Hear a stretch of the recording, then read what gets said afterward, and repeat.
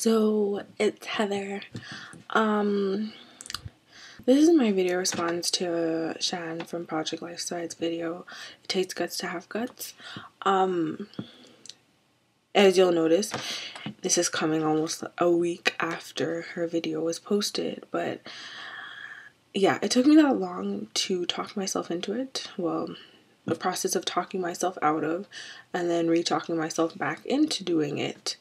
Um, so this is my first video that I'm posting um, as a video response to any video. Um, but this is actually my first video that I'm making in a really, really long time, in about a year.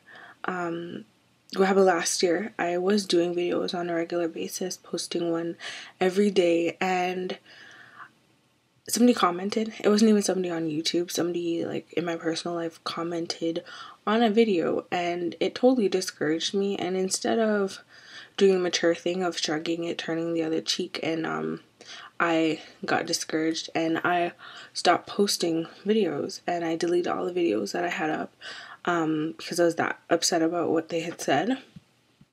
So last year about Octoberish times I got addicted to Project Life Size. My addiction to Project Life Size began.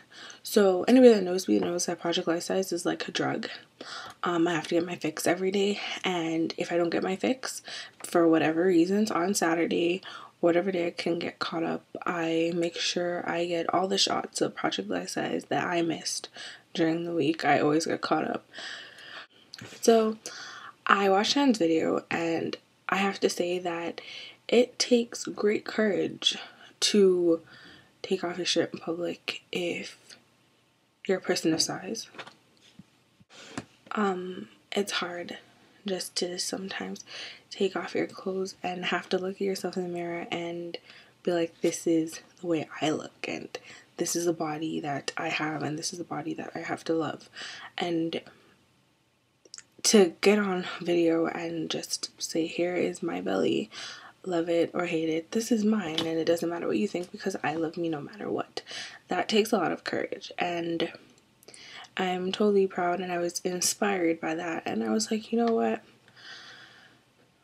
I'll join in and I'll be one of those few people that make a video response and show their belly also because it's almost a week later and only 15 people have actually made it video responses at this point that I've checked and I want to be one of those few people that can say I I I was there at the beginning and I showed my gut um, on YouTube. And some in some weird way it's kind of empowering to know that I went there and I'm like I love me. Now I'm showing you all of me that there is to love. I may have some extra pounds of loving to be given to myself but I love all of it. And even when I'm ashamed of certain parts of myself, I shouldn't let that hold me back from anything. I shouldn't let that hold me back from taking advantage of all the things that there are in the world um, to be offered to me. And um, for a long time, I did that, and I've stopped doing that recently. So, this is really empowering and uplifting for me to be doing. So, here it goes. So, I am nervous as can be, but I'm going to do it. Um, so I'm just gonna back up so you guys can see me. This is all of Heather. This is all of me. I'm about a size 18, 20. Not that big. But um okay, I'm like chickening out. Okay, so this is okay, one of my other problem areas that I'm pretty ashamed of is my arms. They're really big. Um um after a certain weight they just start sagging because at the time at the moment i'm currently about 275 pounds. It like varies a couple of five pounds and goes back a couple of five pounds. I'm like in this 10 pound range between 265 and 275 constantly. Um so here you go. So this is the gut. This is the gut. Um to fold it down so you can see all the hangage this is yeah so this is my gut. There you go. That's it. Um, the other part of me that I don't like would be my back rolls. As you can see, That's, yeah, that's the other part I really don't like. Um, and just the arms and like, um, that would be the areas of myself that I really, really don't like. I'm really self-conscious.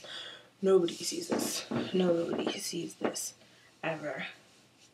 Ever. So, um, love it or hate it, this is all of me and I love me. Um, so thank you for letting me show all of me on on YouTube.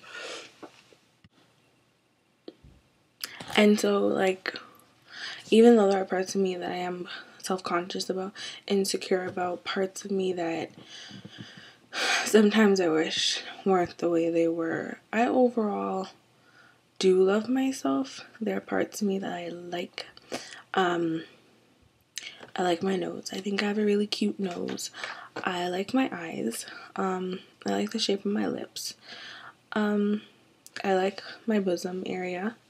Um, I like the shape of my body, like the general curve I have. One of my friends, she um, described it as a cello. And I was like, what on earth type of body shape is a cello? She's like, it's an hourglass, only bigger. I was like, that's a nice way of putting it. So I do like my general, I do generally like myself. Um, I think that in anything, no matter how you look, I'm, whether you're religious or not, this is the way you're made. This is how God made me.